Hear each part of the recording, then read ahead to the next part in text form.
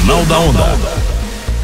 O advogado Ebert Bueno Firmino Pereira tomou posse como presidente da 77ª subseção da Ordem dos Advogados do Brasil de Piuí, para triênio 2019-2021.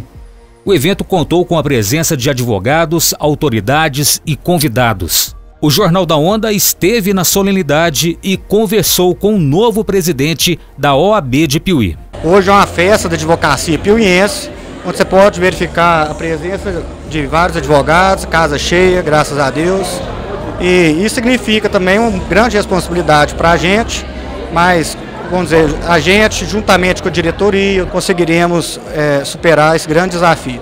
Agradeço Edgar, a Rádio, a Rádio Onda Oeste FM, meu amigo João Tomé. A gente fica muito agradecido. A advocacia de Pinhé agradece. Ele disse que a entidade tem vários projetos e citou: o OAB vai à escola. A OAB representa a defesa da cidadania e através da OAB a gente desenvolve diversos projetos. Temos, por exemplo, é, projeto vai a OAB vai à escola é, é encabeçado pela doutora Ângela de Capitola, advogada, colega nossa.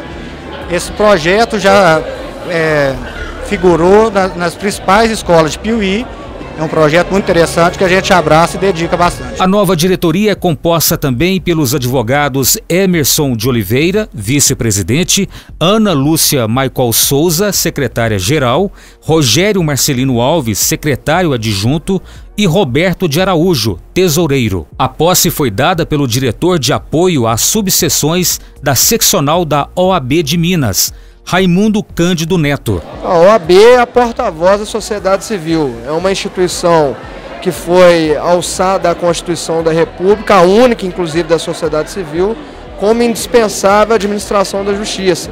Então, localmente, tal qual no Estado e no país, a representatividade não só da classe dos advogados, mas como porta-voz da sociedade civil, com legitimidade para propor ação, com legitimidade para discutir constitucionalidade ou não de lei.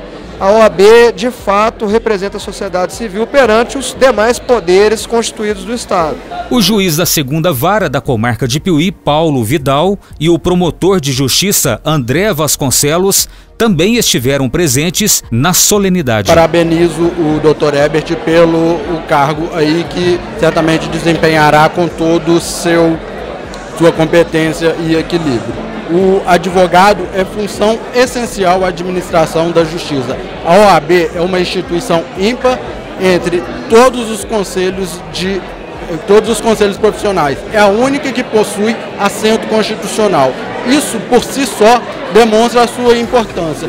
Daí ressurge a mais uma vez a importância desse evento aqui, porque tem como a missão de, no, nos próximos três anos, exercer a presidência de uma instituição que tem por objetivo defender a ordem democrática e os direitos de toda a população. A OAB é primordial, né?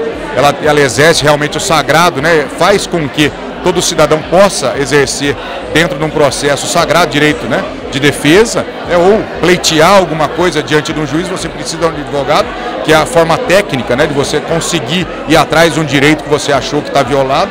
Então eles são essenciais, né? E obviamente, de vez em quando nós estamos de outro lado, né? O Ministério Público está de um lado, o advogado está de outro, mas isso não faz com que nós sejamos inimigos, né? É muito bom ver a OAB forte, né? fortalecida, com gentileza, com coragem, né? E as últimas diretorias têm tido esse perfil que a gente espera que o Dr. Herbert, né, o Bereco, continue tendo e temos certeza que vai ter. É um perfil conciliador, ao mesmo tempo reivindicando as prerrogativas deles, porque é isso que tem que valer. Jornal da Onda.